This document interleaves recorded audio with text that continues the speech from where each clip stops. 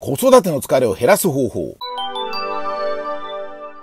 今日は質問いただきました。かなちゃん、23歳女性。1歳の娘を子育て中のママです。授乳中で疲れがひどく、メンタル面でも落ち込み気味です。朝散歩を今週月曜から木曜まで続けてみましたが、今日はできず、疲れて午前中は起き上がれず、子供の育児に影響が出そうです。この倦怠感は何なのでしょうか？どのように改善すればいいでしょうか？食欲はとてもあります。これなかなか難しいんですけども、産後うつっていうのはよく言われてますね。赤ちゃんを産んだ後にうつ状態になる。でも1歳の娘って書いてあるので1年以上経ってるとは思うんですけども1年ぐらい経ってからうつになる方もいらっしゃるんですねこれがね。あるいは逆に言うと3歳ぐらいになってうつになる方もいらっしゃるし子育てってやっぱすごい大変なので出産直後のうつっていうのはホルモンの急激な変化などによって起きるある種気質的な要因が大きいってことも言われます。あるいは社会的な責任子供を育てていかなければならないという精神的なストレスあるいは家族などがあまり協力してくれないというストレスとかいろいろ合わせ技で起こってくるんですね。それっていうのは出産直後でもありえるけども今度1歳の子供供であればまた1歳の子供だし3歳ぐらいになってくると子供が走ったり暴れ回ったりしてずっと見ていなきゃいけないとかまた違ったその大変さっていうのがあると思うのでいろんな時期で子育てっていうのはすごく大きなねストレスっていうのを親に与えていると。子育てでは結構大変なものなんですよってことが言えると思うんですね。そうした中でメンタル的に不調になったりあるいは体調が不良になったり倦怠感体がだるいっていうね症状が出たりっていうのは非常によくあることなのではないでしょうか。倦怠感って何ですかっていうのはこの文章だけ見ても分からないんだけど一般論で言いますとうつ病の非常に重要な症状に倦怠感というものがあります。体がだるい体が重たい体に鉛が入ったような感じがする。疲れやすい。ちょっと動いただけですぐ疲れてしまう。もう家事で10分ぐらいなんか皿洗いしただけでヘロヘロになってしまうとかいい疲労感と言いますね。体がだるいという倦怠感といい疲労感。簡単に疲れてしまう。全身倦怠感といい疲労感っていうのはうつ病の非常に典型的な症状でほとんどの患者さんに大なり小なり見られると思うんですね。体がすごいはつらつです。でも気分が落ち込みますって人はめったにいないです。気分が落ち込むんだけど体もなんかだるいというかなんか嫌です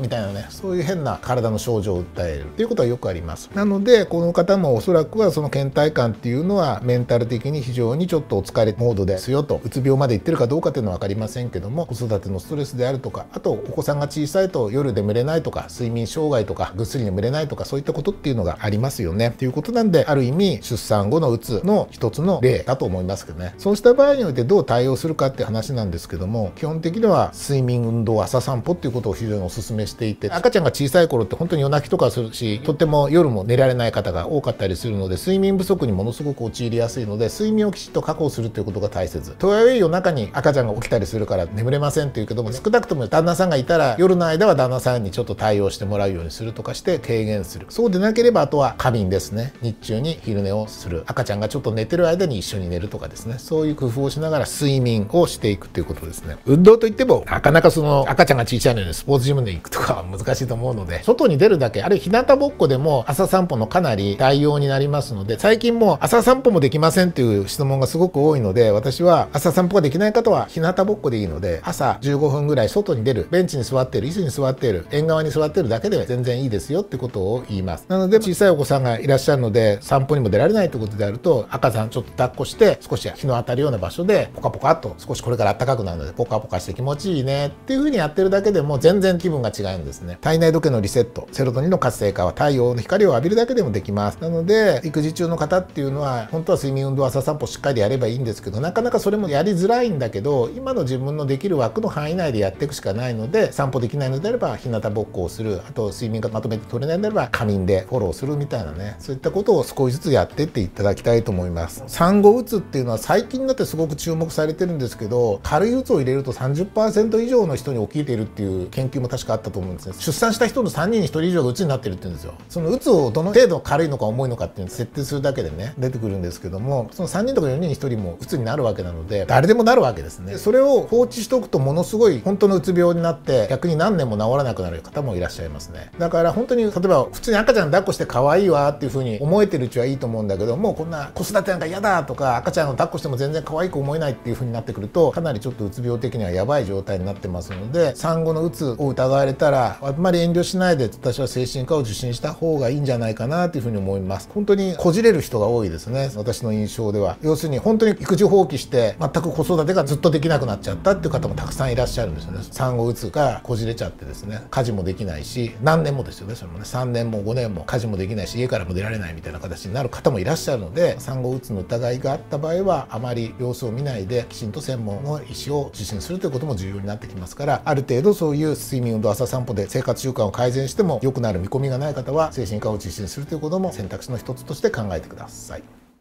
今日の動画はいかがでしたか？あなたの感想をコメント欄に書いてみよう。アウトプットで記憶に定着する。